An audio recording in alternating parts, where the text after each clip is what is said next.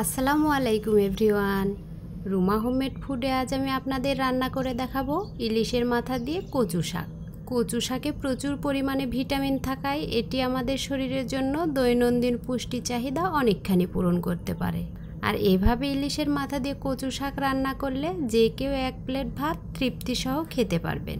তাহলে চলুন দেখে নেওয়া যাক ইলিশের মাথা দিয়ে কচু শাক রান্নার রেসিপি।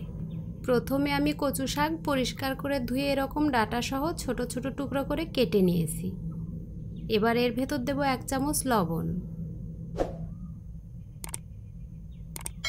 সেদ্ধ হওয়ার জন্য পরিমাণ মতো পানি।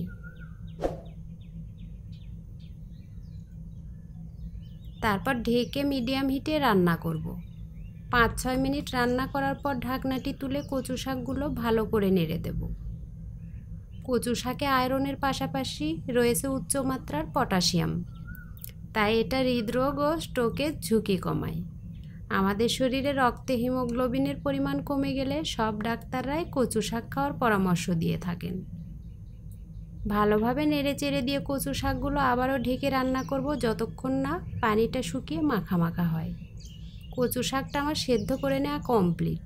আমি এতগুলো কচু শাক একসাথে রান্না করব না। এজন্য এখান থেকে সেদ্ধ করা কচু শাক আমি তুলে রেখে দেব। ঠান্ডা হলে বক্সে ভরে ডিপ ফ্রিজে সংরক্ষণ করব। এবার যেটুকু কচু শাক আমি রান্না করব, সেটা একটি ম্যাশার দিয়ে ম্যাশ করে নেব। আপনারা ডাল ঘুটনি কিংবা কাটা দিয়েও কাজটি করে নিতে পারেন। কচু শাকগুলো আমার ম্যাশ করে নেওয়া কমপ্লিট।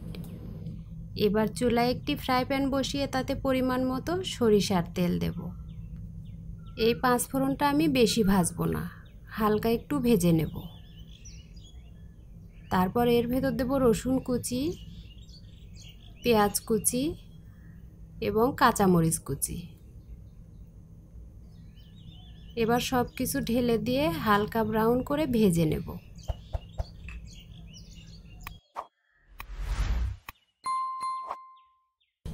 পেঁয়াজ, রসুনে কিছুটা ব্রাউন কালার চলে এলে এর ভেতরে অ্যাড করব পানি।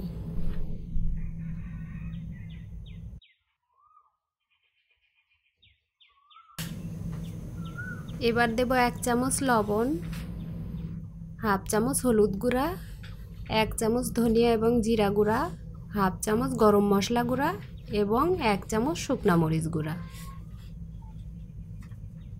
এবার মশলাগুলো নেড়ে চেলে ভালো করে মিশিয়ে নেব। তারপর এর ভেতর দেবো হাফ চামচ আদা রসুন বাটা। এবার আবারও কিছুক্ষণ মশলাগুলো কষিয়ে নেব। কষিয়ে নেওয়া মশলার ভেতর দেব বেশ কিছুটা আস্ত রসুন কোয়া। এবার মশলাগুলো নেড়ে চেড়ে কষানোর এক পর্যায়ে তেলটা উপরে উঠে এলে এর ভেতর দেব কেটে ধুয়ে রাখা ইলিশের মাথা। মাথার টুকরোগুলো দেওয়ার পর আবারও কিছুক্ষণ কষিয়ে কষিয়ে রান্না করব। আমি সব সময় একটা কথাই বলি, সেটা হলো রান্নার সময় কিন্তু তাড়াহুড়া একেবারেই করা যাবে না।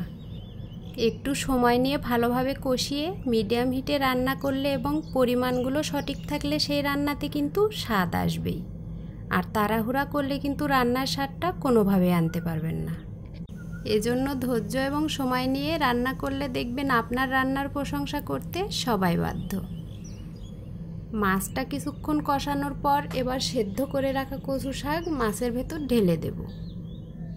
এবার কাজ শুধু নেড়ে চেড়ে ভালোভাবে কষিয়ে রান্না করা।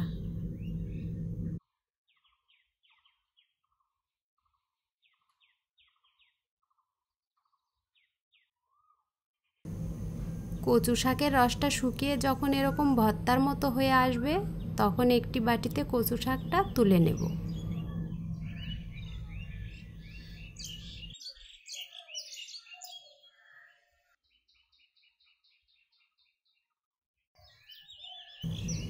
দেখুন কচু শাকটা দেখেই কিন্তু লোভ লেগে যাচ্ছে।